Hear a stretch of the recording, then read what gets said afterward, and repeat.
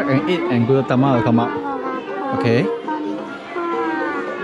Hit the button when the falling egg pass over the target.